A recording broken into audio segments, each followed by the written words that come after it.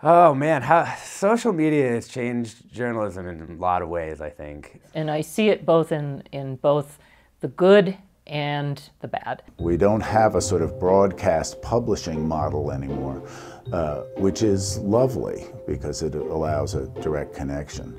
I think that there is, um, uh, for me, um, a lot of excitement about um, reaching a wider audience because there are some people that are only coming to us in the digital space. Facebook itself is having an outsized impact right now on the practice of journalism and the business of journalism. It's actually just like the reality of traffic flow on the internet now is if something doesn't succeed on Facebook, it does not succeed at all. Twitter is important in terms of setting the agenda and the conversation, but Facebook is where Facebook is where everyone really is actually discussing and sharing that information. I have always been a champion for old media flinging open its doors and allowing citizens to participate. I mean, I got into public radio very early on uh, because of this idea that it was supposed to belong to all of us. To me, there, there's really not old and new media. There's just there's just how quickly are you taking what's good from the past and kind of adding new ideas to it. But I think what old media can learn from new media is the ability to move quicker,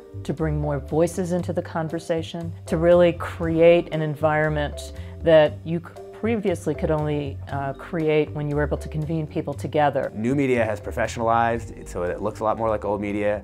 Old media has hired a bunch of like uh, bloggy types and webby types. So increasingly, it's just sort of all digital media.